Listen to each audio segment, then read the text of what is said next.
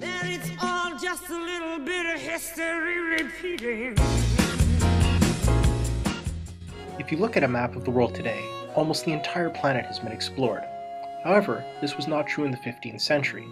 Europeans had not yet discovered America, and only had a glimpse of Asia and Africa. By the end of the 17th century, Europeans had sailed to the New World with soldiers and missionaries, like the Jesuits, to set up trade and create colonies.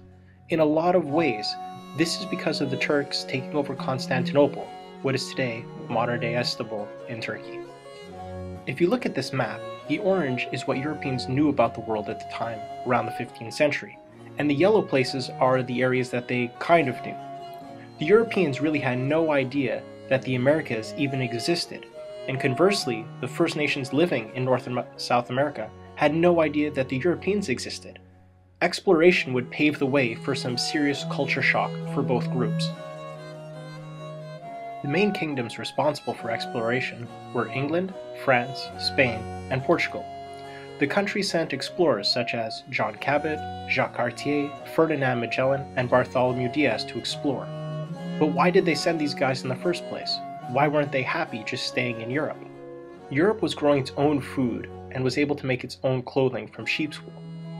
The European economy began to grow, and nobles and wealthy merchants became interested in luxury goods from Asia, such as spices and gold.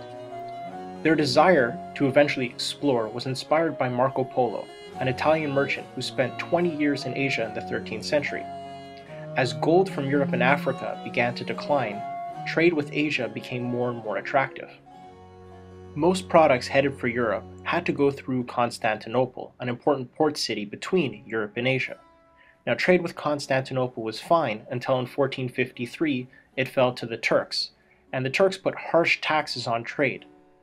European countries didn't want to deal with Italian or Arab middlemen or even the taxes, so the countries set off to find a new way to Asia, and this exploded the Age of Discovery. Now, sailing across the ocean was a huge challenge before the Age of Exploration, and a few things helped make it a little easier. Europeans had known since the time of the ancient Greeks that their world was round. They just didn't know how big it was. And Nicholas Copernicus discovered that the Earth revolved around the Sun. This helped navigators calculate their position on the Earth's surface. People also had a greater sense of adventure because of the invention of the printing press and the spreading of Marco Polo's book describing his time in Asia. Europeans also became better map makers and built a better ship called the caravel. But two inventions helped shape how Europeans traveled. The compass was used to estimate a ship's position relative to magnetic north. Using a compass with an astrolabe, a ship could find its position using the stars. Latitude could be calculated and longitude could be estimated, making travel between continents much easier. There were other reasons for exploration beyond economic. There were political reasons as well. Monarchs of the four main kingdoms wanted to extend their territory for more resources and a larger population to tax. Finding new lands to control outside of Europe meant that monarchs didn't need to get into war with each other for territory. Then we have the religious reasons.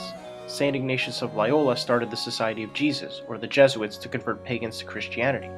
Because of the Reformation, Catholics felt the need to stop the spread of Protestantism by evangelizing and converting non Christians.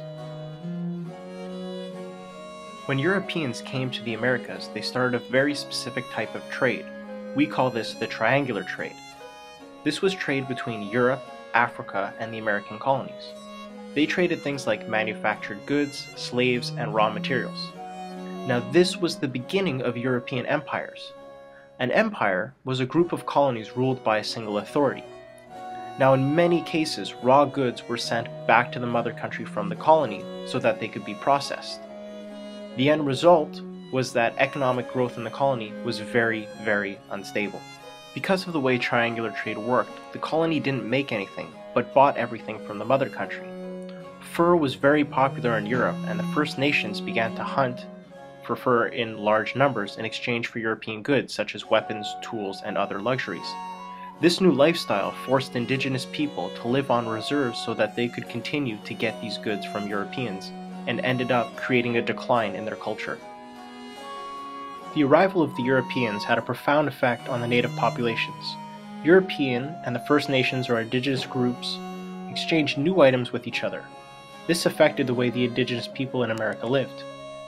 So we can see that Europeans introduced barley, vines, sheep, cows, horses, metal objects, and firearms to North America, while the Europeans got pineapple, chocolate, tomatoes, beans, corn, potatoes, and tobacco from the First Nations, so we can see how these groups started to rely on one another.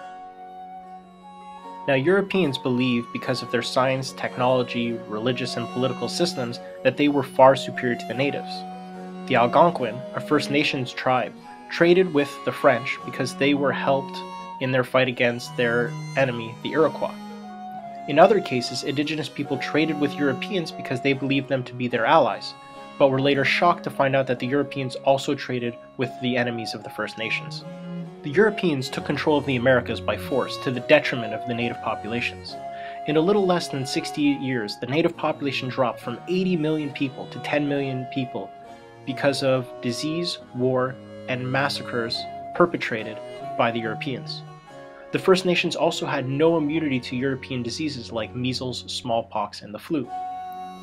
Many First Nations died because of this. Then if we look at Central and South America, Spanish soldiers, called conquistadors because they conquered, massacred the Inca and Aztec people while the King of Spain allowed it to happen because he was still making wealth off this colony. In some cases, the indigenous people were even forced into slavery. Now, Pope Paul III forbade enslavement of people, but the people who went and bought and sold and captured slaves completely ignored it. From the 16th to the 19th century, roughly 20 million Africans were brought to America to labor as slaves in tobacco plantations and mines. The conditions that they came in to America were terrible, packed onto slave ships in the worst conditions possible. Many died without having access to food or water. Finally, the First Nations lost aspects of their culture. The Europeans thought the way the First Nations lived and dressed were immoral, so they worked to convert the First Nations to Christianity. North American First Nations were less likely to convert than others. Missionaries sometimes offered guns to the First Nations if they would allow themselves to be baptized. And eventually, some aspects of the First Nations culture began to disappear, and even some peoples, like the St. Lawrence Iroquoian, disappeared entirely. So there you have it. I hope this video was helpful to you guys in your studies, and I'll see you next time when we look at the French Revolution. Take care.